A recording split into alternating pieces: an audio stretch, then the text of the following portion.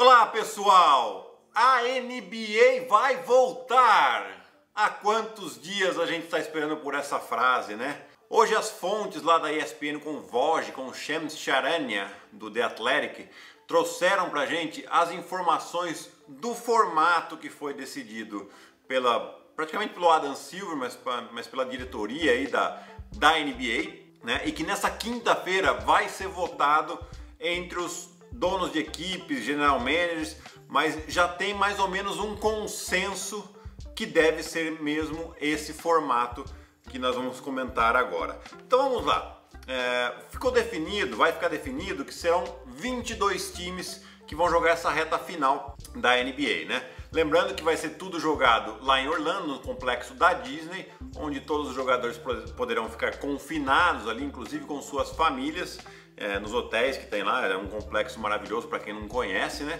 E, e, eles vão ter o controle que esses jogadores não tenham ac é, é, acesso, não, não tenham é, convivência com outras pessoas, né? Ou com tantas, muitas outras pessoas para evitar esse contágio. Mas voltando aqui, são 22 equipes, 13 equipes da Conferência Oeste e 9 equipes da Conferência Leste. Pô, Guilherme, mas por que esse número, né? Como é que eles chegaram a esse número de uma conferência com 13 e a outra com 9? Eles usaram um critério muito simples: equipes que ainda tinham chance de classificar para os playoffs. E eles passaram uma linha de corte ali, né? A, a, até equipes que estão com até seis jogos de diferença para o oitavo colocado. No caso do, da Conferência Leste, era só o Washington Wizards. Na Conferência Oeste, a gente tinha ali o, o Memphis Grizzlies, né, que estava em oitavo colocado, mas aí você tinha o Blazers, o Pelicans, o Kings, o San Antonio Spurs e o Phoenix Suns, todos ali ainda com chances de, de classificar para os playoffs. Então, essas são as equipes que estão que irão jogar. Outros para outras determinações. Apenas oito jogos de temporada regular. E aí, e aí que vem um, detalhezinho, né?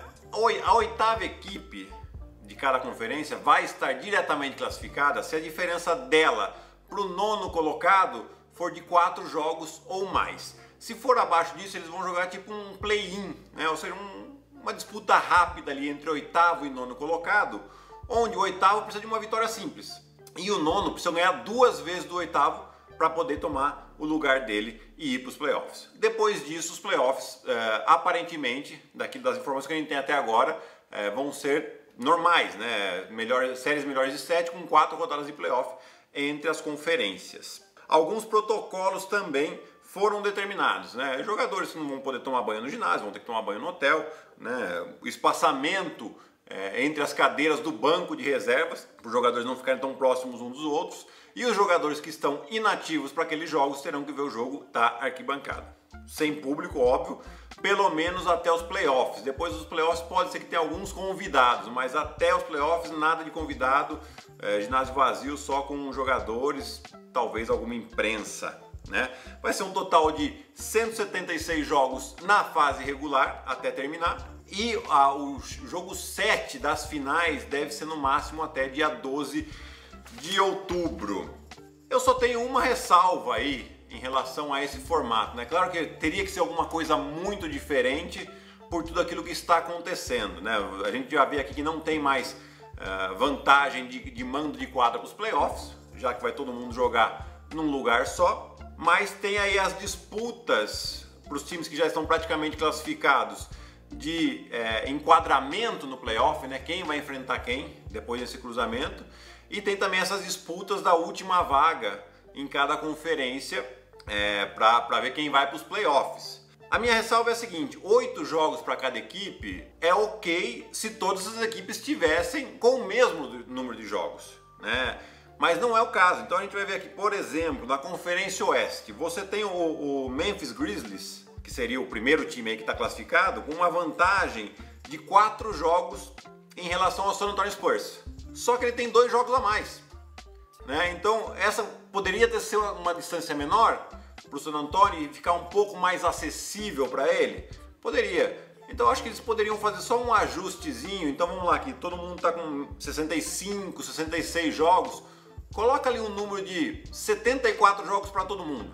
E aí você faz com que todos cheguem nesse mesmo número de jogos e aí a gente tem uma comparação mais justa em relação à classificação dos playoffs. A gente vê a mesma situação, por exemplo, na, na, na, na briga de posições ali é, da Conferência Oeste também, né? É, com Clippers, Nuggets, Jazz, o Oklahoma City Thunder e o Houston Rockets brigando por melhores posições e até eventualmente eu acho que vai ter gente querendo sair do quarto e do quinto lugar para fugir um pouco do Lakers, né? O Lakers com LeBron, com Anthony Davis, existe essa disputa também. Assim como no, no, na Conferência Leste, os times vão querer fugir um pouco também do quarto, quinto lugar para fugir dos Bucks, num eventual cruzamento de semifinal de conferência. Né? Então tem essas coisas que a gente precisa ficar atento e seria muito mais legal se tivesse é, o mesmo número de jogos para todo mundo. A gente teria aí é, essa comparação. Mas tirando isso, temos a ótima notícia que a previsão de, de iniciar todos esses jogos é dia 31 de julho. Lembrando, gente, que tá, estamos aí na pendência de, de da, da, confirmação com os proprietários que deve acontecer ainda essa semana. Tá certo? Espero que tenha gostado desse vídeo. Deixa seu like, se inscreva no nosso canal, ativa o sininho aqui que cada vez que sair um vídeo nosso você vai ser lembrado pelo YouTube e também entre no nosso grupo do Telegram, né, que eu sempre tenho alguns conteúdos exclusivos lá. Eu não, né? Todos nós do canal Chua colocamos conteúdos exclusivos lá para vocês, inclusive alguns comentários sobre o que está acontecendo no dia a dia da NBA. Tchau, tchau, pessoal!